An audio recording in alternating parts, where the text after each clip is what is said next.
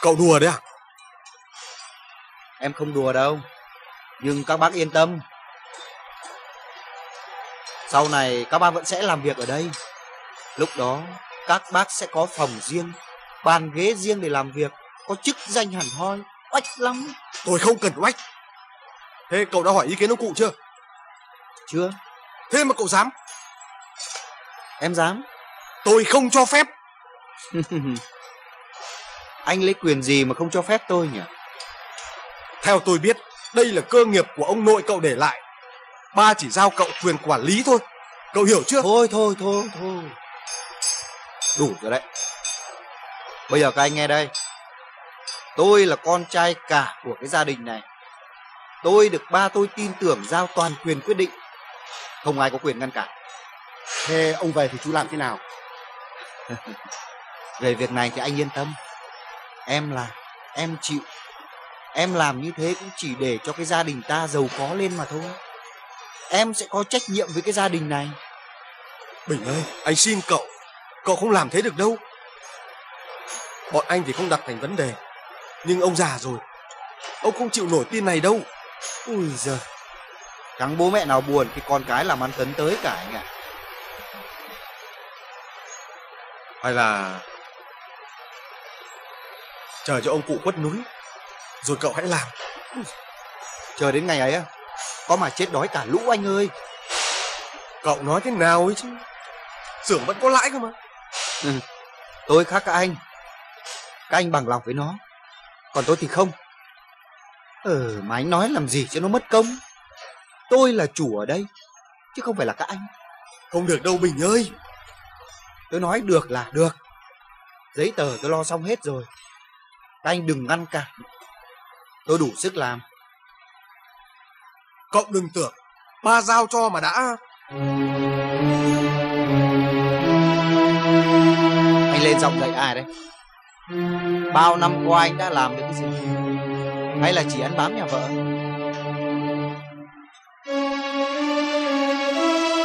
Anh tưởng cái bằng đại học của anh nuôi nổi anh chắc. Bây giờ tôi làm ăn lớn, lẽ ra anh phải giúp đỡ tôi mới đúng. Đằng này mà thôi. Ừ bây giờ anh đừng có nói gì hết. Mình phải biết mình là ai. Cậu nói cái gì? Ừ. Thôi,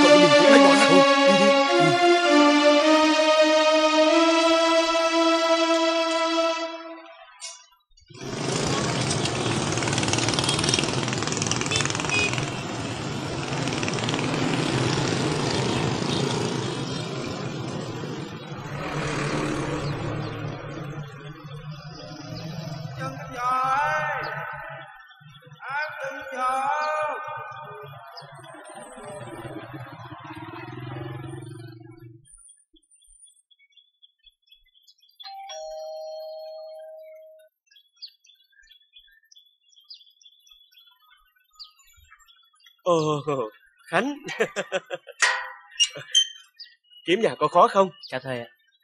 Dạ không ạ. Tôi cũng vừa nhận được điện của anh Tường thông báo. Vô nhà đi. Dạ vâng ạ.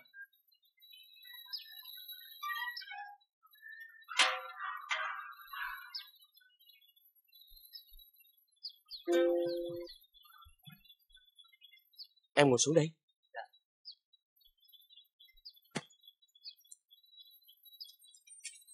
Hai em làm quen với nhau đi. Đây là Khánh ở Hà Nội, rất là mê cải lương. Còn đây là Thủy, học trò của thầy gần một năm nay rồi. Chào thầy. Tôi đang dạy cho Thủy bản đoạn khúc Lam Giang. Hay là Thủy ca một đoạn cho anh Khánh nghe nhé. Dạ.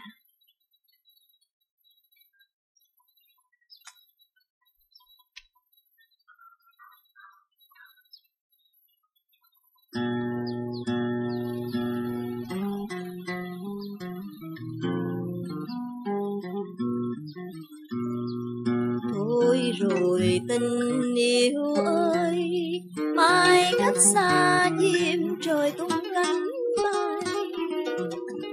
Mộng mơ chết trong tim này đau đớn lòng ai dằn ai xem. Thà ta đừng quen biết nhau. Thôi, đừng khóc nữa.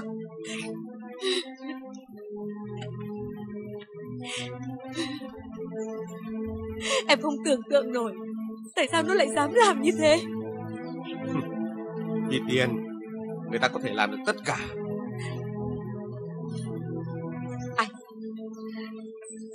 Anh chờ em đến nhà nó Đến để làm gì? Không ngăn cản được cậu ấy đâu. Rồi chị em lại bất hòa. Anh nhu nhược lắm Cứ cho là như thế đi. Nhưng bây giờ làm được gì nào? Toàn bộ giấy tờ mang tên cậu ấy. Danh chính ngôn thuận, cậu là người quyết định. Em không chịu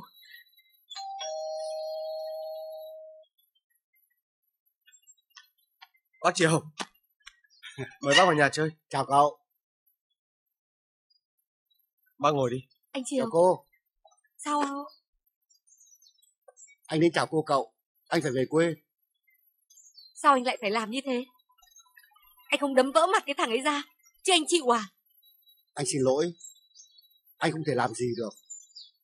Dù sao thì anh cũng là người ngoài. Ai bảo anh là người ngoài? Anh đã sống chết bao phen với cái xưởng ấy rồi. Anh để nó yên à? Em sẽ đến đó. Nó muốn phá xưởng Thì phải bước qua xác em. Kìa em nó đã thuê người canh gác rồi. Đừng đến đó nữa vô ích. Anh cứ kể em Xem nó có dám đánh chị nó không An. Anh cho rằng cậu còn làm nhiều hơn thế cơ. Ừ. Mình lú lẫn rồi Sao không gọi cho cậu Khánh nhỉ Cậu ấy luôn là người biết cách giải quyết sáng suốt mà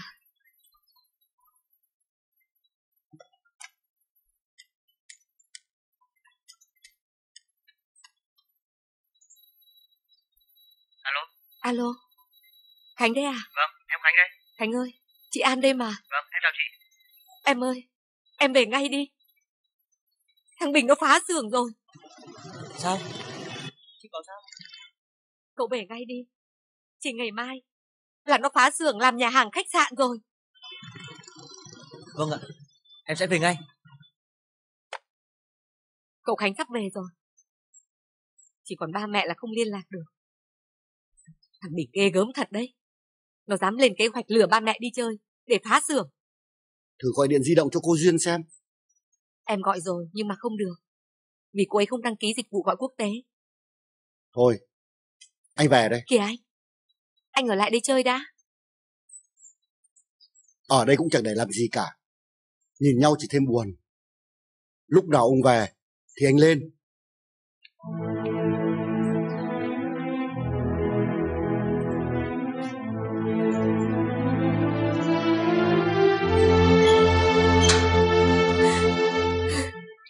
Xong việc em sẽ vào ngay. Thầy cho em gửi lời thăm Thủy nhé. Cậu gắn mà học. Cậu đàn, cối ca là tuyệt lắm đó. Dạ, em mới vào nghề, đâu có dám nghĩ chuyện đó ạ. Mau chậm không quan trọng. Cậu thông minh, yêu nghề, tôi nghĩ cũng nhanh thôi. Cái quan trọng là nuôi được cái chí ở bên trong. Dạ vâng ạ. Tôi cứ nghĩ mãi, tại sao ngày hôm nay vẫn còn có những người như cậu? Quý lắm đó. Thôi, cho em được xin phép thầy. Em đi. Vậy nha, cậu đi mạnh giỏi. Chúc thượng lộ bình an. Dạ, cảm ơn thầy.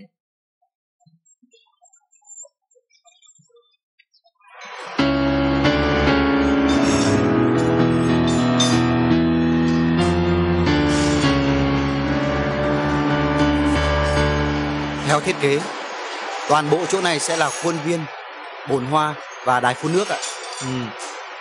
Hợp lý đấy. Mẹ khỉ. Khu đất thế này mà bây giờ chú mới chịu đầu tư. Anh nói cho chú biết nhé. Chú mà chịu đầu tư cách đây 5 năm thì bây giờ có mà ngồi trên đống tiền rồi. Dở quá. khổ lắm thời gian trước ấy, suốt ngày em bận tối mắt tối mũi cắm đầu vào búa với cả đe có ngẩng mặt lên được đâu thế thì em mới nhờ đến sự tư vấn của các anh Ờ, em đã xem qua bản thiết kế sân khấu ca nhạc rồi sao? Nói chung là rất hợp với cách nghĩ của em đấy.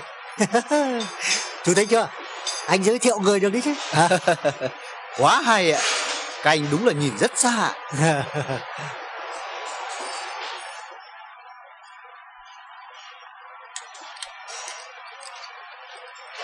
chào các anh ạ. Ê đây này. Cái chỗ này chú phải giải quyết nó đi để lấy mặt bằng cho anh em người ta còn thi công chứ. Hả? À, được được được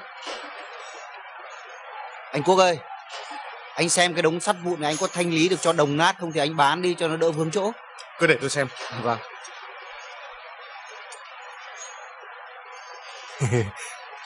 Thợ với thuyền nhìn vào trông như kỹ sư nhỉ? Ui, anh tinh mắt thật đấy. Anh rể em đấy. Ủa thế à? Ừ cũng có bằng đại học. Ờ. nhưng ờ, không xin được việc. Ờ. ăn trực nằm chờ ở cái xưởng này cả chục năm nay rồi. Kỹ sư trông rách dưới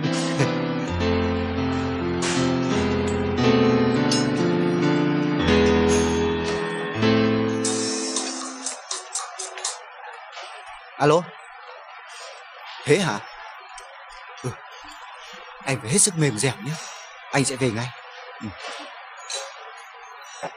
ờ, anh cứ ra nhà hàng hôm trước đợi em Ừ. em phải chạy qua nhà có chút việc Ừ. tí nữa em sẽ ra ngay ok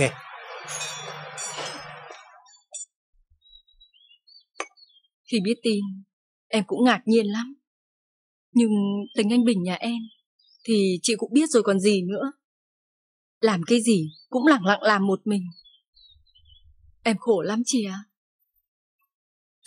Sau chuyện này, em không biết còn dám nhìn mặt ai trong gia đình nữa không? bác mới sang chơi à Thằng mất dậy Kìa, anh Bình, xin lỗi bác đi, còn đứng đấy à? Đi vào trong để tôi nói chuyện.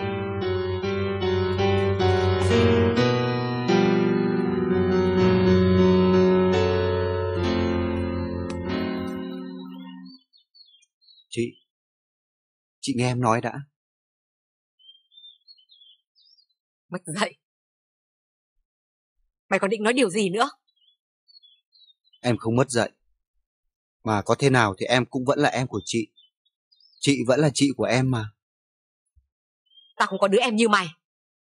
Mày có biết Mày đang gây ra chuyện gì cho gia đình không?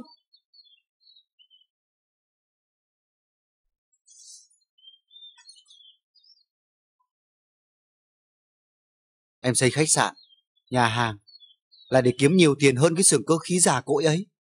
Chị phải mừng cho em chứ. Nếu gia đình mình giàu có, em có hưởng lợi một mình đâu. Sau này, em sẽ lo cho các cháu đi học ở nước ngoài. Chị cứ yên tâm ạ. Mày câm mồm đi. Tao chưa nhờ vả gì mày Mà mày đã phá tan cơ nghiệp của ba xây dựng cả đời rồi. Em làm ăn kiểu của em chứ không như kiểu của ba. Chân lấm tay bùn cả đời mà cái xưởng cơ khí có phát triển được đâu. Hơn nữa ba đã giao toàn quyền cho em rồi chị quên à? Mày! Bác cứ đánh em bác cứ chửi em cũng được. Nhưng em nói để bác biết ngay cả ba về bây giờ cũng không giải quyết được việc gì đâu bác cửa đây chơi em phải đi có việc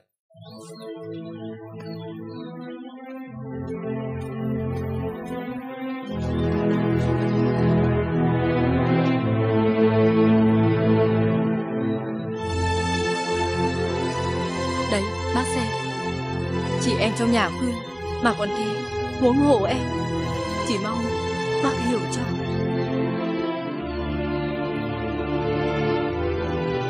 Mà không phải lo. Chị hiểu mợ mà.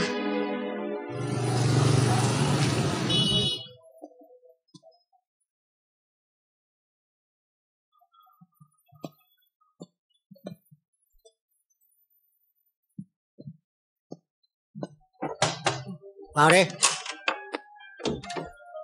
À. Bình đấy hả đại ca? À, ngồi đi ngồi đi ngồi đi. Ừ coi như xong phần đó mà anh đã cho gọi thêm một tốt thợ nữa rồi. Toàn thợ xịn đấy.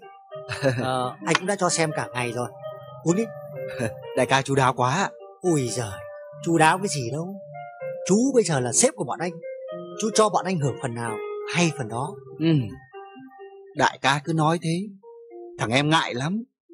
Về vốn ấy chú khỏi lo. Bọn anh sẽ góp theo yêu cầu của chú. Chú chỉ cần báo vài ngày sau sẽ có làm ăn với đại ca thích thật. Thằng em yên tâm hẳn lên. Có làm có hưởng. Chúng ta cùng hội cùng thuyền cơ mà. Có điều gì không rảnh Bọn anh sẽ chỉ cho. À tuần sau chú chủ động liên lạc với công ty PR gì đó đi. Chú đói toàn bọn đàn em của anh. Sau này chúng nó kéo khách về cho. Thế còn phần trăm ạ? Thì cứ lo xây cho xong đi đã. Chuyện đó tính sau. Thực ra công việc của chú chỉ là một phần nhỏ trong hoạt động của bọn anh. Chỉ vì công việc của bọn anh sau này cần tới khách sạn. Ok. Em sẽ đáp ứng cho anh đầy đủ. Chỉ sợ anh chê là không có đủ điều kiện thôi. Đừng lo. Cái gì cũng phải từng bước.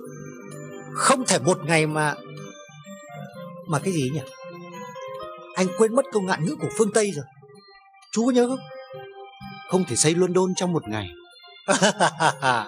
Đúng ra là không thể xây Paris trong một ngày. À. Nhưng Paris hay London thì cũng vậy thôi. Một khi đã có tiền Ta có thể sửa cả ngạn ngữ.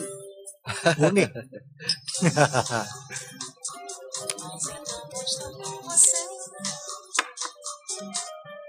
Alo? Ờ, được rồi, anh sẽ về ngay. Đại ca ơi, có khi em phải về trước đây Có chuyện gì thế? Chuyện trong nhà thôi mà anh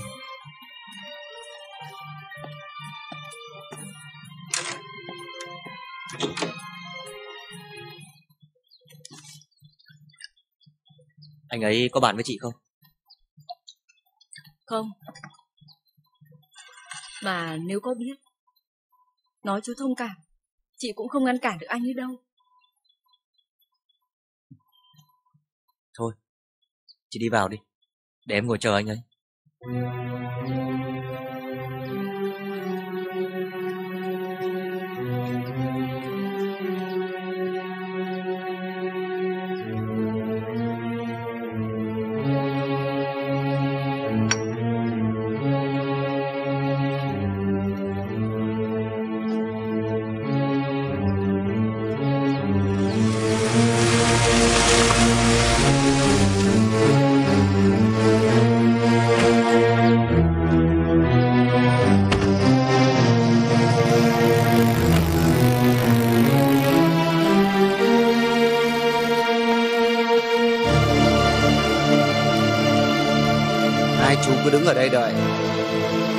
Anh gọi thì mới được lên Mà chỉ dọa thôi, không được đánh Được chưa?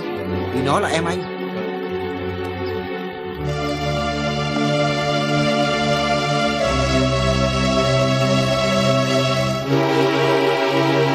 À, chú mới về đấy à? Anh ngồi xuống đi.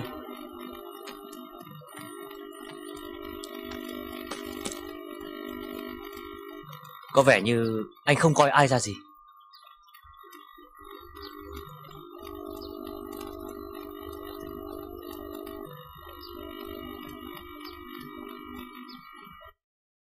Anh ngu lắm. Ngu như thế thì làm kinh doanh lớn thế nào được. Rồi lại khổ mọi người vào trại thăm thôi. Mày nói cái gì? Anh ngồi im. Tôi không nổi cáu. Thì anh đừng có gào lên như thế. Nếu anh muốn làm ăn lớn, thì anh phải nói với ba, thuyết phục ba. Anh làm như thế này là gây chuyện với cả nhà. Bà làm sao mà đồng ý Tôi nghĩ là anh đủ sức mua một mảnh đất ở nông thôn. Rồi rời xưởng về đó. Kiếm đâu đó một mảnh giấy của một nơi nào đó có trách nhiệm. Rồi phịa ra là họ bắt mình di rời vì lý do tiếng ồn. Có thế mà anh không nghĩ ra. Tôi biết. Anh có máu làm ông chủ sang trọng từ lâu rồi. Thật ra cái đó không xấu. Nhưng vì đầu anh tối, đếch nghĩ ra được cái gì hay, nên mới phá xưởng như thế. Anh ngu lắm. Mày bảo anh ngu Anh vừa ngu, lại vừa hèn. Ngu là vì anh không hỏi ý kiến ba. Nếu anh hỏi ý kiến tôi, có khi tôi lại giúp anh được nhiều điều. Còn hèn là anh đã thuê mấy thằng vớ vẩn đến đây. Lần sau, có thuê thì thuê mấy thằng có võ. Chứ mấy thằng này tôi đánh một phát chết cả hai. Rồi anh lại tốn tiền thuốc thang cho nó đấy. Thế... Thế bây giờ mày định làm gì tao? Tôi chẳng làm gì anh cả. Nhưng tôi nói để anh biết. Nếu làm ba buồn, tôi sẽ tính sổ với anh đấy. Tôi đã làm ba buồn vì không nghe theo lời ba. Nhưng còn anh, anh lại là đứa con hỗn láo đấy. mày nói đủ rồi đấy. Tao làm, tao chịu. Bây giờ tao có đủ quyền giải quyết cái xưởng cơ khí này, mày không làm gì được tao đâu. Giấy tờ đứng tên tao. Mày mà cản ấy, tao gọi công an đấy. Mày biến ra khỏi nhà tao. Anh giỏi lắm. Cũng biết nhịn nhục để làm việc lớn. Tôi cho anh một ngày để suy nghĩ. Nếu anh không thay đổi quyết định, thì không ai trong gia đình này dám đảm bảo là không có chuyện gì xảy ra đâu.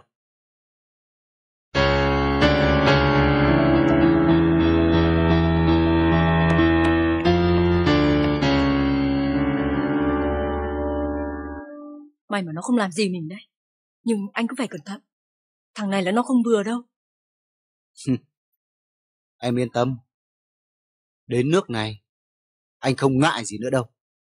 Không ai có thể làm anh lùi bước được. Đến cả ba bây giờ về cũng thế thôi. Chứ đừng nói gì đến cái thằng nửa thợ thuyền nửa nhà thơ ấy.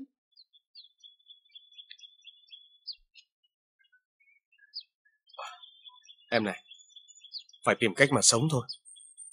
Con mình đi học thêm, cần nhiều tiền lắm. Anh định làm gì?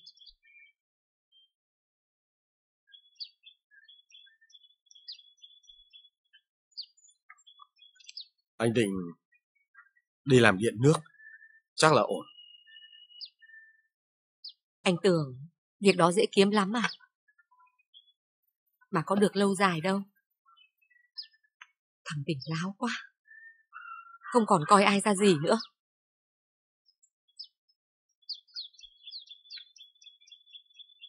Em này, anh chuyển đồ đạc và máy móc ở xưởng về khu đất của nhà mình ở quê nhé. Để đến khi ông về muốn dựng lại xưởng thì có cái mà dùng. Vâng, thế cũng được anh ạ. Chứ mấy thứ đó mà để thằng Bình nó bán đồng nát thì phí quá. Đến khi mình cần mua sắm lại cũng mất khối tiền đấy. Những thứ đó, dụng cụ máy móc ấy, đã gắn bó với bố cả đời rồi anh ạ. Kiểu gì anh cũng dựng lại nhà xưởng. Thằng Bình nó nói gì mặc nó. Vì anh nợ gia đình nhà mình quá nhiều rồi. Sao anh lại nghĩ thế? Chẳng qua anh không gặp may thôi. Chứ có ai muốn phụ thuộc vào nhà vợ đâu. Em hiểu anh. Nhưng còn người khác nữa. Kiểu gì anh cũng sẽ dựng lại xưởng. Nhưng có lẽ phải đợi ông về đã. Vâng. Để em nghe cho. Alo. Anh hả? À, các cháu có khỏe không con? Bà đang ở Hàng Châu đây, đẹp lắm con ạ. Ba ạ? À? Ba ơi, ba mẹ khỏe không ạ? Ba đang ở Hàng Châu ạ? Ừ, cả nhà vẫn bình thường cả chứ? Dạ. Ba ơi, ba... Vâng ạ. À. Cả nhà vẫn bình thường ba ạ. Thế thằng Bình nó vẫn uh, làm tốt chứ con? Dạ. Vâng ạ. Ờ, thế thì tốt. À, ba tranh thủ gọi điện về để xem thế nào. Thôi, bây giờ ba phải ra xe để đi tham quan rồi. Thôi, chào con nhé. Vâng. Con chào ba. Sao anh không để em nói cho ba biết? Đằng nào thằng mình cũng phá xưởng rồi. Nói với ba bây giờ thì giải quyết gì? Mấy khi ba mẹ đi chơi vui vẻ như thế.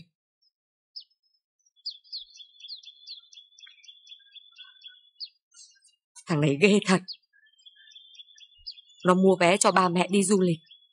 Để dễ bể xoay sở. Rồi mọi người trong gia đình mình sẽ khổ vì nó thôi.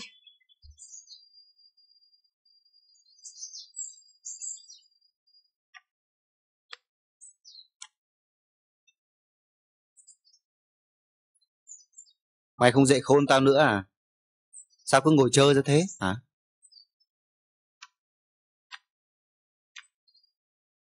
Anh vẫn không thay đổi ý định à? Tao nghĩ đến việc này rồi. Nhưng đây là dự án lớn của tao. Mày không giúp được gì thì mày để yên cho tao làm.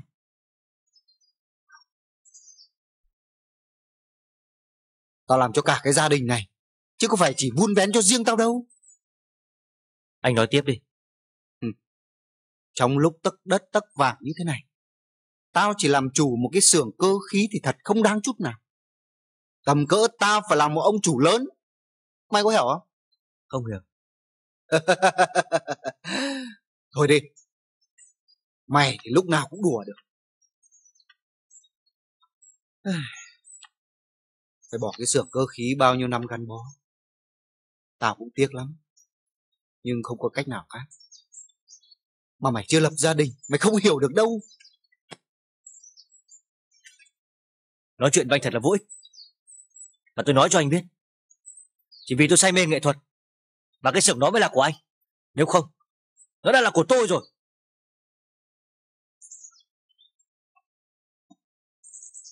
Nói chung, cũng bó bẻn bao nhiêu năm anh đóng vai người tử tế. Tôi đang chờ xem anh đối xử với gia đình này như thế nào. Chú hiểu cho anh rồi phải không? Không phải hiểu, mà tôi đang tự nhủ. Nếu anh là người ngoài, thì tôi đã cắt anh thành hai khúc từ lâu rồi.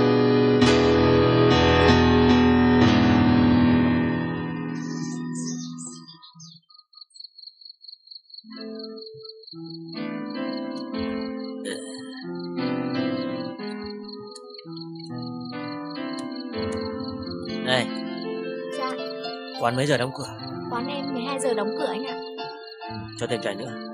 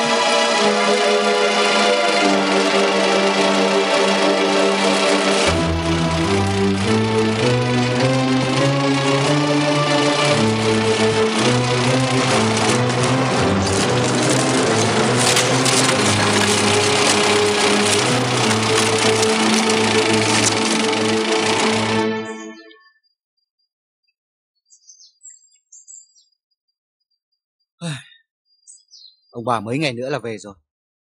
Gầy quá nhỉ. Anh định thế nào? Thì à, cứ theo phương án cũ. Có lẽ là anh phải lánh mặt đi một thời gian. Anh sợ à? Ờ, thì à, cũng hơi sợ. Nhưng chủ yếu là để cho xong việc đi cái đã. Anh cũng không ngờ.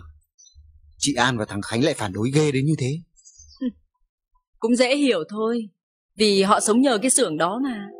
Nhưng còn thằng Khánh, Chú Khánh, quả thật em cũng không thể hiểu nổi. anh cũng không hiểu.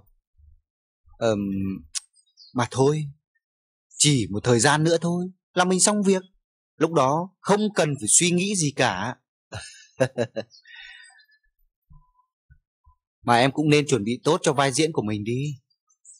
Về phía em, thì anh yên tâm. Vì lâu nay mọi người trong gia đình anh luôn nghĩ rằng em bị anh áp đặt. Nên thương em lắm. Em á, đúng là lãi đủ đường.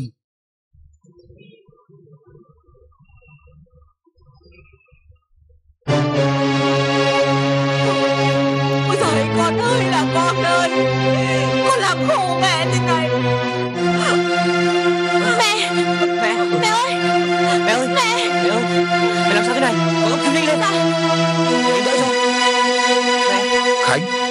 Khánh mới duyên đưa mẹ xuống bệnh viện Để ba xuống xưởng.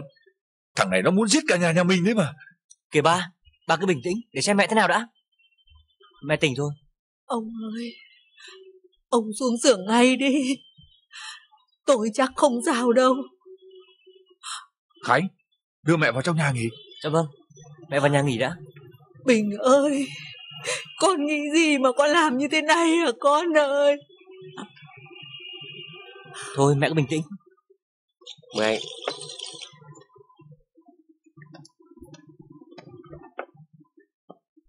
Bác uống nước bạn. À, Bác có mệt không ạ?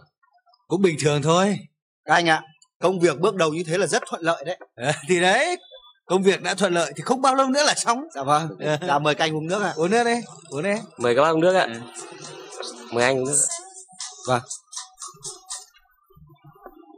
Alo, anh Lộc đấy à? Dạ vâng, mọi việc tốt lắm anh ạ. Dạ, tối rảnh anh em mình gặp nhau một chút nhé. dạ vâng, anh yên tâm. Giấy tờ thủ tục em đã lo xong hết rồi. Dạ vâng, tối gặp em sẽ bàn cụ thể với anh. dạ vâng ạ. Dạ vâng, em chào anh ạ. công việc của chúng tôi đấy tôi nhắc lại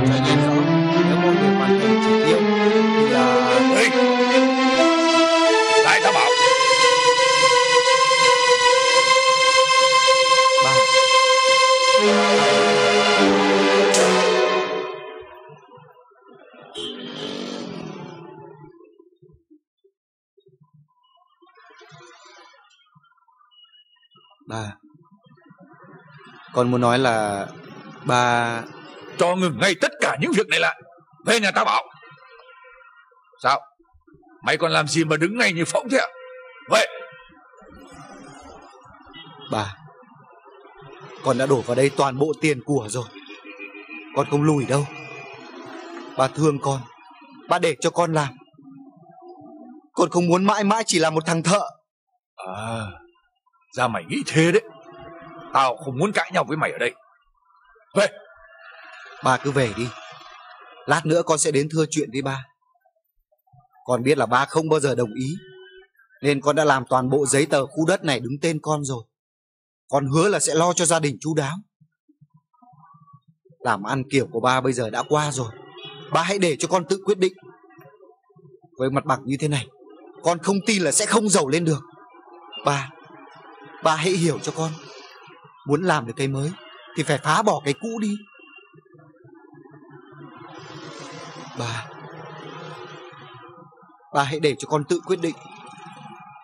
Thế hệ của chúng con bây giờ không chỉ có làm, Mà còn cả hưởng thụ nữa. Con chắc là ba cũng mong muốn như vậy. Ba ơi Ba hãy để cho con làm đi. Nhà mình làm quần quật bao nhiêu năm nay, Mà vẫn chỉ là cái xưởng cơ khí cũ rích. Bây giờ con muốn mở mày mở mặt với đời. Chúng con không dám trách ba Nhưng Thôi được. Bao nhiêu năm này Tao làm ăn tử tế Tao chẳng thua kém ai. Đến bây giờ Bây giờ tao thua mày rồi đấy. Ba Ba ơi Ba ơi con xin ba. Mày Mày cũng đủ tư cách làm con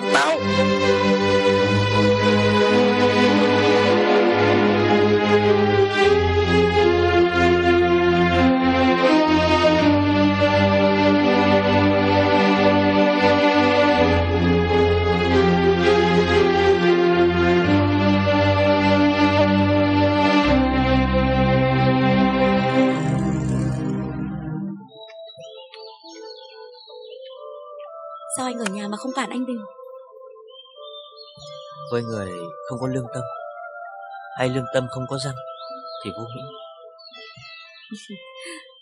Bây giờ thì em đã hiểu Tại sao anh lại phản đối ba Khi ba ra lại quyền cho anh ấy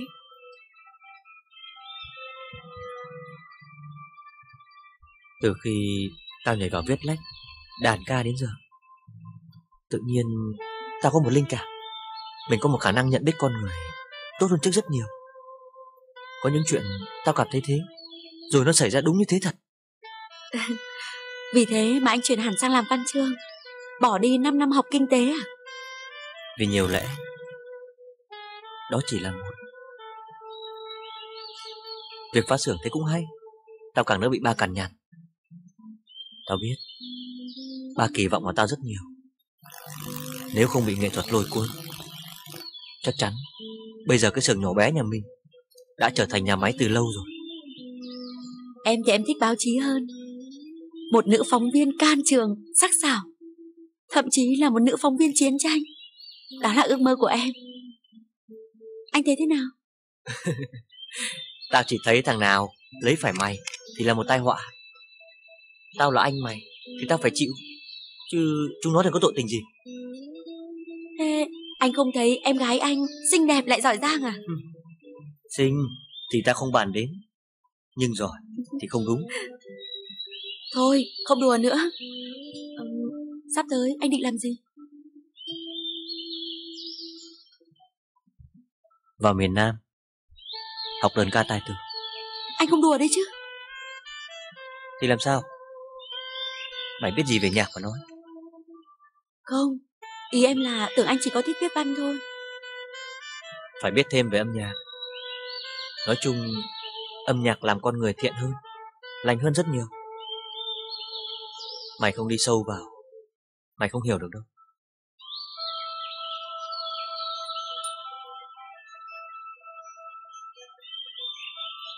Phải dấn thân. Nếu không thì... Mày làm sao thế?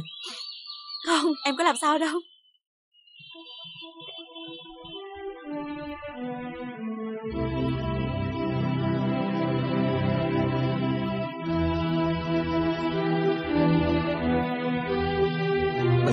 nói gì thì ba cũng cho là con sai. Vâng, con đã sai khi không hỏi ý kiến của ba. Nhưng tất cả cũng chỉ vì gia đình này thôi ạ.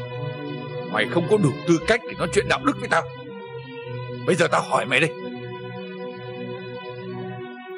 Vâng, Tao có thể tha cho mày cái việc tự động phá xưởng Sau một tuần nữa Mọi việc phải trở về như cũ Mày thấy thế nào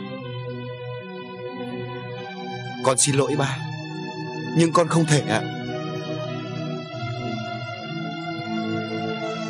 Lâu nay, Tao chưa nói nặng với ai trong cái gia đình này Nhất là từ khi chúng mày lớn lên Nhưng mày phải hiểu, Cái xưởng mà mày cho là tồi tàn quê cảnh này Đã nuôi sống cả đại gia đình này đấy Là bao nhiêu công sức, Là ý nguyện của ông nội chúng mày đấy Mày ngu lắm Bình à Con không ngu. Mỗi thời một khác. Con có đầu óc, con có ý tưởng. Con không thể mãi là một thằng thợ được. À!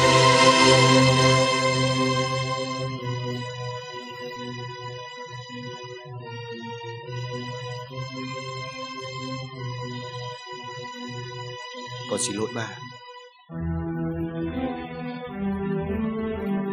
Mày xúc phạm cả cái nghề Mà ta đã từng tự hào Đã từng sống chết vì nó Mày Mày là thằng con khốn nạn mà tao biết Bây giờ tao hỏi lại lần nữa đây Mày có ngừng ngay cái việc xây dựng ấy lại không Không. Con không dừng được nữa. Con đã sắp xếp mọi việc. Con đã vay vốn ngân hàng để làm rồi. Nếu ba bảo con dừng lại, có nghĩa là ba đẩy con vào tù. Mày Mày cút ra khỏi nhà tao. Tao nói trước Tao không để cho mày muốn làm gì thì làm đâu.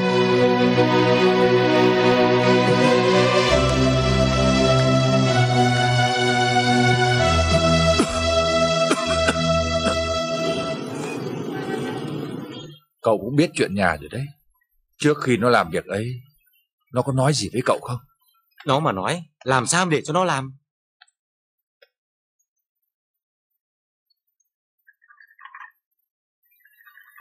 Ba uống nước đi. Cảm ơn cậu.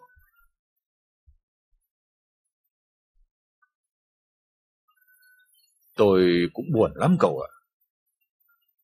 Tôi sẽ không để cho nó tiếp tục muốn làm gì thì làm đâu. Bố còn thật đấy. Nhưng nó đã phá những gì mà cha ông nó đã mất cả đời người để gây dựng nên. Thì tôi sẽ ra tay. Vì thế nên tôi mới phải nhờ đến cậu. Bác thử nói chuyện lại với cháu xem. Cứ họp gia đình, giải quyết chuyện trong nhà trước. Ừ, thôi được. Cứ bỏ qua chuyện tình nghĩa đi. Cậu cứ coi tôi như người ngoài. Tôi hỏi thật cậu nhé. Nếu ra tòa ấy, thì ai được? Chắc là thằng Bình. Ơ? Ừ. Sao cậu lại chắc chắn điều đó? Ừm, à, thì em chắc thế. Bởi đã có lần nó đến gặp em và xin tài liệu về việc thành lập doanh nghiệp. Xét về logic thì... Sao cậu không nói với tôi điều đó? Thì em đâu có biết. Hồi đó em hỏi nó rằng cháu định đưa xưởng cơ khí trí đức lên hay sao? Nó cười, nó bảo cậu ơi, cháu cũng phải chuẩn bị từng bước. Em mừng quá, nghĩ đó là chỉ thị của anh. Gần đây, nó lại xin em mấy địa chỉ của công ty luôn. Chắc nó tính toán kỹ rồi. Mà giấy tờ anh vẫn cầm đi chứ? Tôi... tôi lại sang tên quyền sở hữu cho nó rồi. Ê, cậu làm sao thế?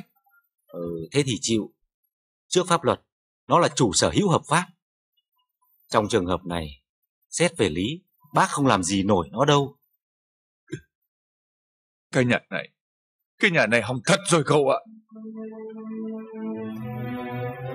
Thôi, tôi đi về đi. Cậu làm việc đi.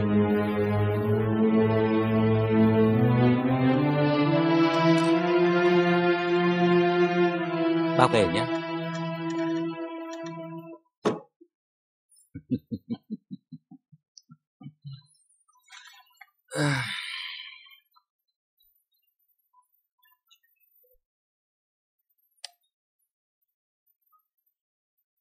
Alo, cậu Nhân đây. Đúng như cậu dự đoán, ba cháu vừa về rồi. Cháu yên tâm, cậu sẽ làm bước tiếp theo. Thế nhá, chào cháu.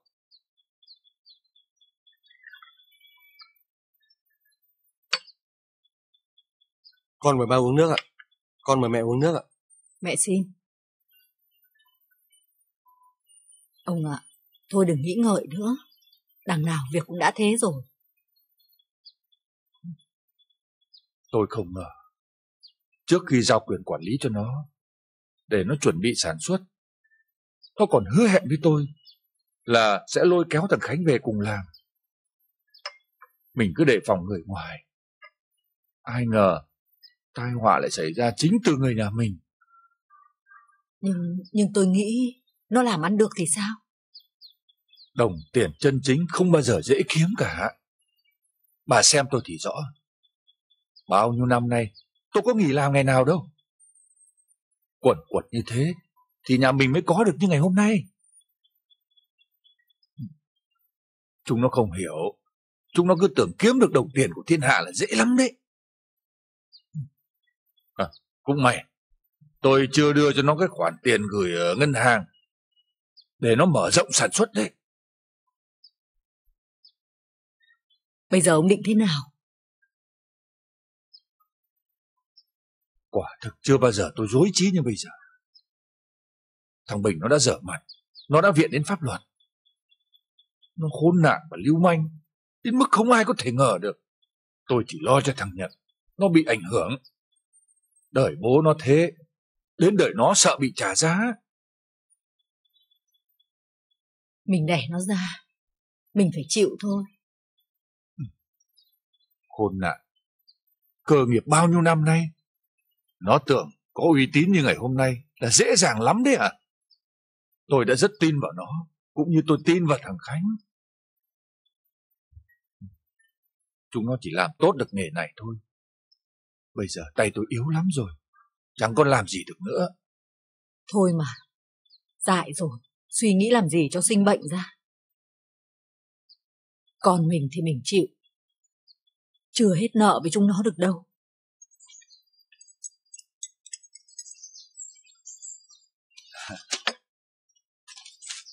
Cũng may là ông già không gây chuyện. Hôm nọ, ông làm anh mất mặt trước đám thợ thuyền quá. Thế là may đấy. Sĩ diện à? à? Em đang tưởng tượng. Đến hôm Khánh Thành, chắc là anh oai lắm nhỉ? không đơn giản thế đâu. Còn nhiều việc phải làm lắm. Mà em mơ mộng cứ như trẻ con ấy nhỉ? Mơ mộng và lãng mạn thì phụ nữ ở tuổi nào chẳng có. Nhưng nói thật, anh phải cẩn thận đấy. Làm cái gì cũng phải tính toán cho kỹ lưỡng. Nếu không, mình cứ cố xây lên rồi cho thuê cũng được. Mặt bằng này không tồi đâu. Anh không hẹn đến thế đâu. Nhưng phương án cuối cùng là cho thuê cũng được. Đấy là em cứ nói thế. À, mà vốn thế nào rồi hả anh? Mấy ngày tới, anh đến ngân hàng rút tiền rồi làm giấy vay thêm.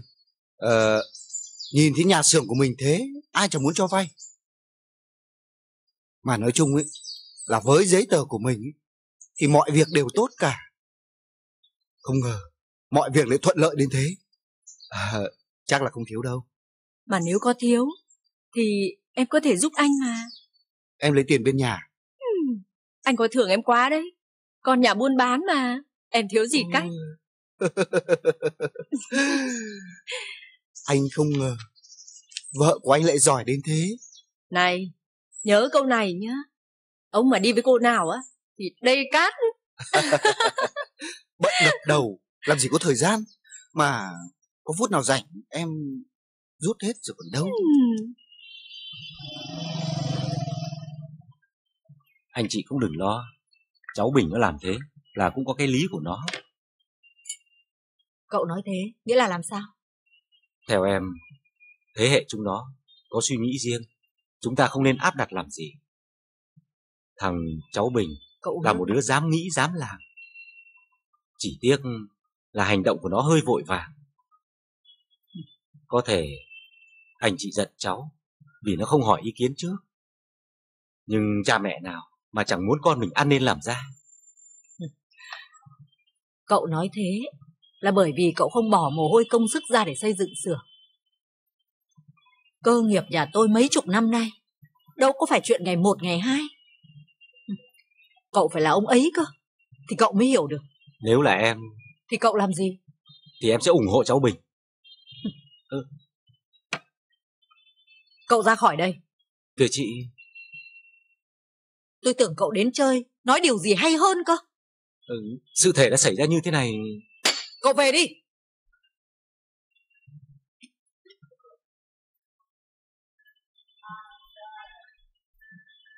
Thế nào Triều? Cuộc sống dạo này ra sao? Có khó khăn gì không? Là con về quê, chẳng biết làm gì. Thu gom mấy đứa thợ trong làng lại, mở sừng nguội. Con đang dạy chúng nó học nghề. Và con bảo mở hàng bán cho nhàn, nhưng con không đồng ý.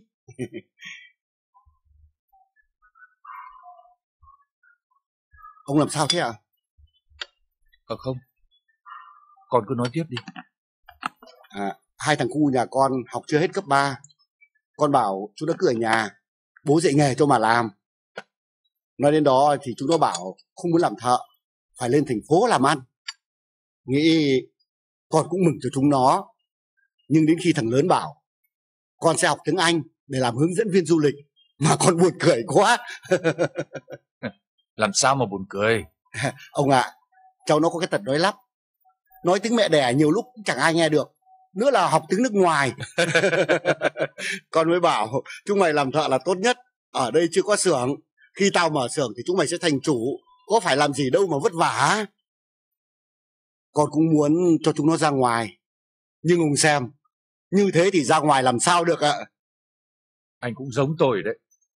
À, con lên đây từ hôm qua con muốn sang thăm ông nhưng sợ ông mắng. Ông thông cảm. Mọi người trong nhà khuyên ngăn cậu ấy nhưng cậu ấy không nghe. Huống hồ là con. Anh thì sao? Có bao giờ tôi coi anh là người ngoài đâu? Vậy bây giờ ông định thế nào ạ? Thì anh xem tôi còn làm gì được nữa.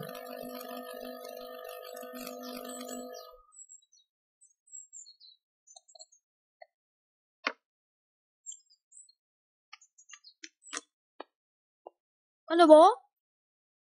Ha ha, con trai bố đi học về rồi đấy hả? Hôm nay vui thế để bố đoán xem nào, ngồi xuống đây. Chắc là được điểm tốt phải không? Hôm nay con được 2 điểm 10, nhưng còn một chuyện hay lắm bố ạ. Chuyện gì? Con muốn đi học nhạc. ừ, cũng hay. Nhưng ờ, con đi học nhạc để làm gì? Để trở thành nhạc sĩ ạ? Nghe bố nói này, học nhạc thì phải có năng khiếu, hoặc là phải con nhà nói. Năng khiếu của con thì bố chưa biết, nhưng mà nhà mình có ai theo nghề đấy đâu. Có chú Khánh. Chú Khánh chỉ là tay chơi thôi, chú ấy không phải là nhạc sĩ. Chú Khánh bỏ nghề gia đình để đi học đàn, như thế là không tốt con ạ. Nhưng vì chú Khánh đi học đàn mà bố mới được ông cho cái xưởng đấy chứ. Ai bảo con thế? Chẳng ai bảo con cả. Nhưng con nghe bác Quốc với bác An nói thế. Nhật này, con còn nhỏ, chưa hiểu hết được chuyện người lớn đâu. Bố sẽ cho con đi học đàn để biết thêm. Còn bỏ học văn hóa để học đàn thì không được con ạ. Nhưng con thích học đàn lắm. Sau này con trở thành nhạc sĩ, con sẽ nuôi bố mẹ. Ôi rồi ôi. Tôi chẳng dám chờ đến ngày đấy đâu ông trẻ ạ. Bố cho con đi học đàn nhá. Con nghe này. Chỉ thời gian tới nữa thôi. Bố sẽ là ông chủ khách sạn lớn rất oách. Ừm, đủ tiền cho hai mẹ con tiêu xài thoải mái. Thậm chí còn thường xuyên đi nước ngoài nữa. Con có thích không? Hả? Ờ, sau này con lớn lên, con sẽ đi theo học kinh tế. Lúc ấy bố già rồi, con sẽ nắm giữ cơ ngơi của bố. Thế sao bố không nắm giữ cơ ngơi của ông nội mà lại phá đi? Mày! Kìa anh, đừng làm như thế. Con nó biết gì đâu. Nhật, con xin lỗi bố đi. Con không xin lỗi, vì con không có lỗi. Mày mà không xin lỗi, tối nay tao cho mày nhịn cơm. Kìa anh. Nhật, con lên trên gác đi, bố đang giận đấy.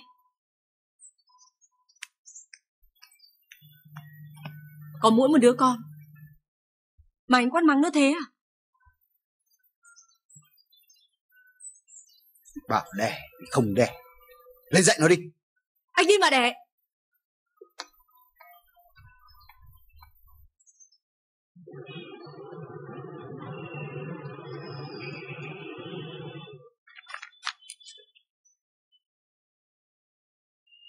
Ở trang 26, anh đã cho trình bày rất đẹp và kỳ công lắm đấy. Dạ, để về nhà em đọc. Đêm qua, tôi phải thức trắng cả đêm để sửa cho cậu cái chuyện ngắn kỳ sau đăng. Cậu viết lên tay lắm. Gần như tôi để nguyên vì tôn trọng ý của cậu. Đêm qua anh ngủ ở đây. Ừ. Thế cậu tưởng tôi ngủ ở khách sạn chắc? Dạ, anh vất vả với em quá. Thật ra với người khác, tôi chỉ có việc nói in hay không in. Nhưng tôi coi cậu như anh em. Hơn nữa, cậu có lối viết văn rất lạ. Tôi muốn cậu bước thật vững chắc trên con đường nghệ thuật gập ghềnh này. Nên mới ra công như vậy. Nếu cậu cố gắng, thì 10 năm nữa sẽ vượt xa tôi. Chứ không phải đùa đâu. Anh cứ nói thế chứ. Ừm, phải có lòng tin như vậy thì mới làm nghề này được. Cậu nên nhớ, nếu cậu không tin vào bản thân cậu thì không ai tin cậu được đâu. Tôi biết là sẽ có người nói nọ nói kia về cậu. Nhưng phải biết mặc kệ. Tiếng Pháp người ta gọi là dâm mong mộc. Có nghĩa là chế giễu. Đêm qua em cũng thức chơi tập mấy bản nhạc mới. Nếu trưa nay anh rảnh rỗi, em mời anh đi ăn. Rồi sau đó đến Lavia, anh em mình tắm hơi, massage cho nó khỏe người. Tôi thấy ý kiến của cậu cũng không tồi đâu. Nào, ta đi. dạ. Nhanh lên. Dạ vâng ạ.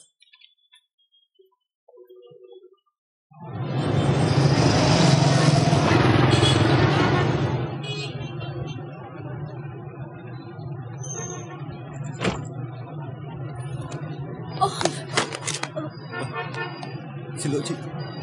Xin lỗi anh. Có Có phải Trang không? Anh Lâm. Anh Lâm. Thời gian đúng là liều thuốc tiên Làm cho người ta quên hết mọi thứ Tưởng không bao giờ được gặp lại anh nữa Dù sao trái đất vẫn tròn mà. Thế nào? Chúng ta có thể gặp nhau ở đâu đó vào một lúc nào đó được không nhỉ? Gặp phụ nữ có chồng là hơi khó đi nhớ Nhưng với tư cách một người bạn cũ thì không sao đâu nhỉ? Ờ, anh với em lâu quá không gặp nhau. Hay là chúng ta tìm một chỗ nào đó ngồi ôn chuyện cũ được không? Cũng phải xem Người bạn của mình bây giờ sống thế nào chứ Mời em.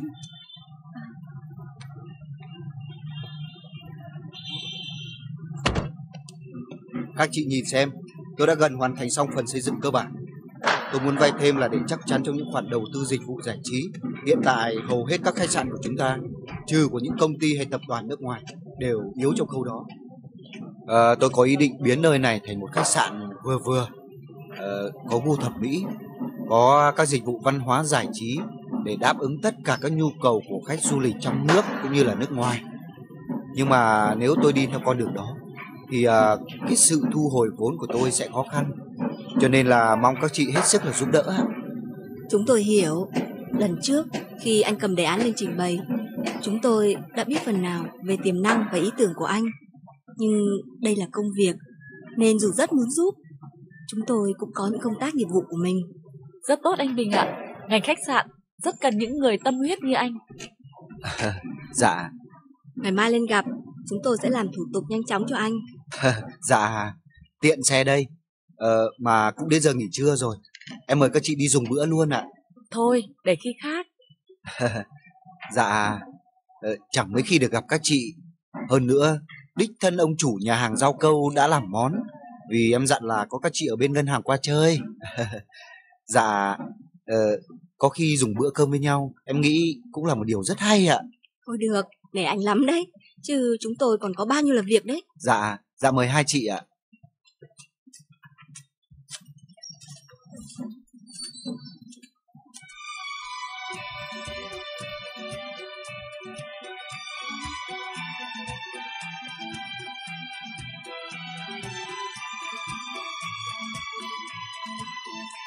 Em cười gì thế?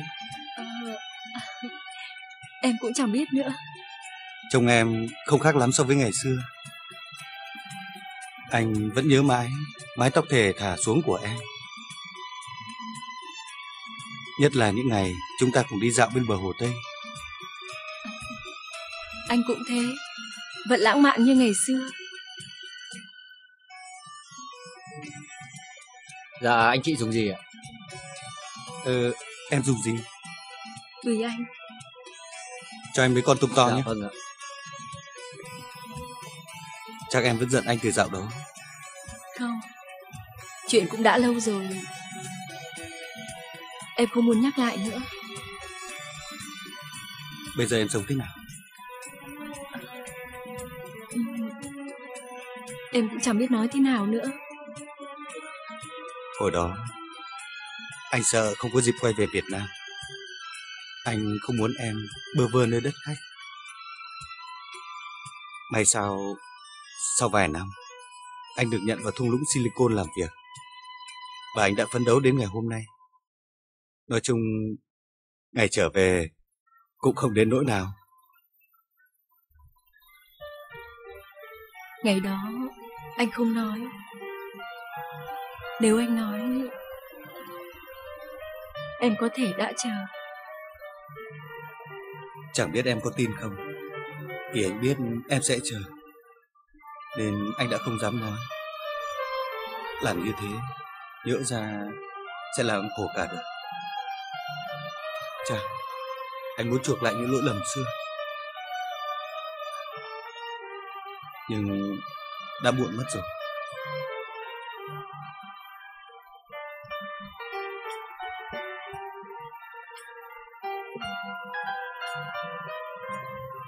Nhưng cũng chưa muộn đâu. Em nói thế Có nghĩa gì? Nếu bây giờ em gặp khó khăn Anh có giúp em không?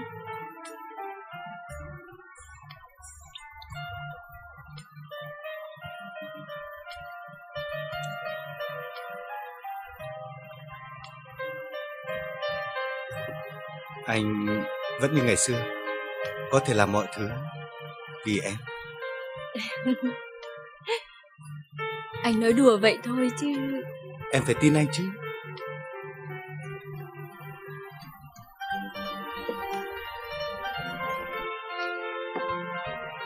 Nào, uống tí rượu đi em. Phụ nữ như em, uống tí rượu vào mặt đỏ là xinh lắm đấy.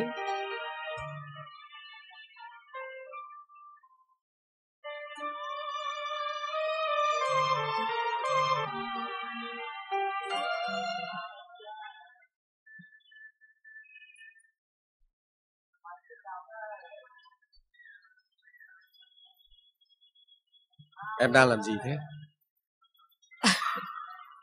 Em đang tính toán lại mức chi tiêu của nhà mình mấy tháng nay anh ạ. Sang tháng lại cần một số khoản phải chi tiêu rồi. Mai anh đến chỗ anh Thành xin một chân lắp đặt điện nước vậy. Không cần đâu. Tuần sau, em xin cơ quan cho xuống xưởng sản xuất rồi anh ạ. Đừng làm thế. Anh còn lo để cho mẹ con em. Hơn nữa, chỗ em sản xuất toàn phải hít hóa chất. Nguy hiểm lắm. Mỗi người một chân một tay anh à. Dịp này, nhà mình tiêu tốn tiền lắm. Lúc trước, có tiền ở xưởng, em chẳng phải lo gì.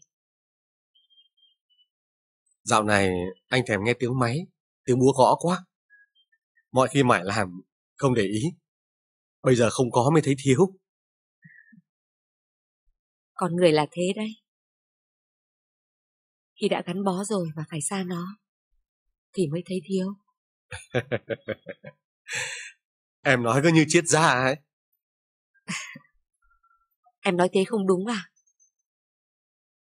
Từ ngày thằng Bình nó dở trò, em mới hiểu thế nào là lòng tham vô đáy của con người. Thằng này, nó ham tiền hơn tất cả mọi thứ. Ai mà chả ham. Đành rằng như thế. Nhưng em không chịu nổi con người nó. Kiểu người như thằng này, khi có tiền hay có lực ở trong tay, thì nó ghê gớm lắm. Em này, nếu anh lo đủ cho gia đình, thì em không được xuống tổ sản xuất đâu nhé. Vâng. Nhưng em sẽ xoay cách khác. Không để cho thằng mất dạy ấy. Nhìn anh chị em ruột nó chết đói được. Rồi lại phải đến cầu cạnh nó. Làm gì đến mức ấy hả em? Anh sẽ lo liệu được.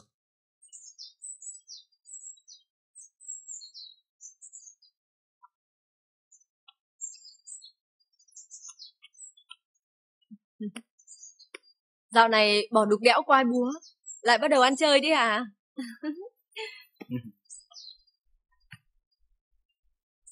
thì à, cũng phải ăn mặc chỉnh tề một chút làm ông chủ khách sạn úi sùi mãi làm sao được Thấy chưa? Thấy khác những ngày cầm dùi đục chấm mắm cáy chưa? tiếp xúc với dân doanh nghiệp cỡ lớn thấy khác hẳn điểm đạm lịch sự nhã nhặn Rồi anh sẽ thấy còn nhiều điều khác. Lầm lũi mãi, người nó cũng hèn đi. Mà em không hiểu tại sao, cả đời ba chịu được băm băm chặt chặt nhỉ? này đừng có nhắc đến ba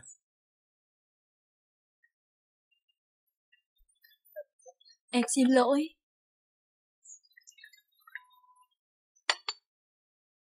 sao hôm nay em về muộn thế Ừ. Em bận một chút việc. dạo này bọn mình bận nhiều việc nếu em đi đâu thì nhớ báo với anh một câu có nhiều việc anh cần đến em Mà anh cũng phải chú ý quan tâm đến đối tác. Họ không vừa ở đâu đấy. Anh biết rồi mà sao em nhắc anh nhiều thế nhỉ Em nhắc nhiều cũng không thừa đâu. Thế anh sang nhà ba mẹ chưa?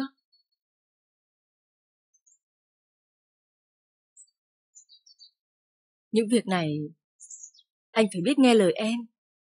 Muốn làm được việc lớn thì phải biết lạnh lùng, phải dám làm.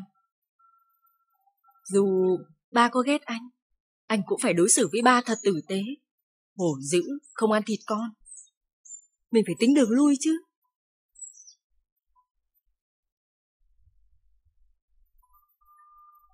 Mà anh cũng nên tập lại cách sống đi. Không nên để tình cảm chi phối mình.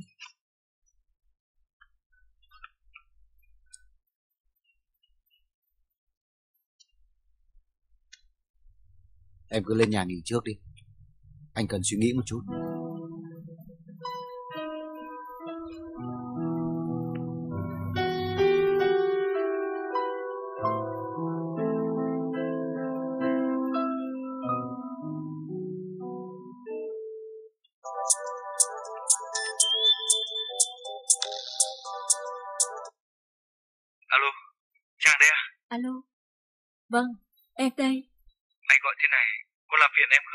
Có chứ.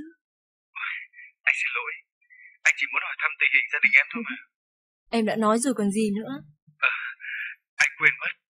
Anh nói thêm một câu thôi nhé. Vâng. Nhớ giữ sức khỏe đấy. Dạo này, da mặt em xấu lắm. Vâng. Cảm ơn anh.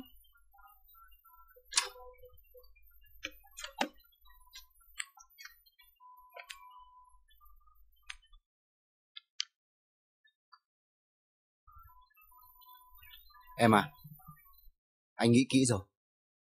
Có khi ngày mai anh sẽ sang bên nhà. Anh đi nghỉ một tí đi. Dạo này da mặt anh xấu lắm rồi đấy. Em bảo sao? Em nói là dạo này anh đen quá. Lặn lội ngoài công trình suốt. Cố giữ sức khỏe. Chúng ta mới bắt đầu vào cuộc thôi.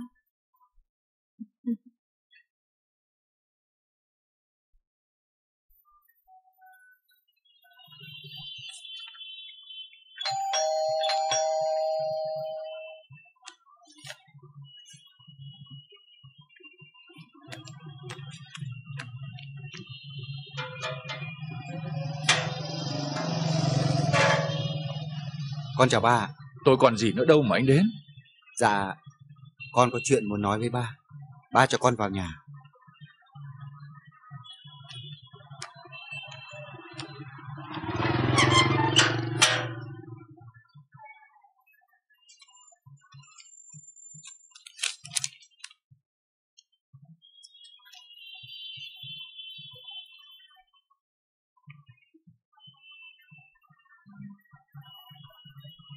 Dạ thưa ba, theo lệ, con đến để đưa ba tiền.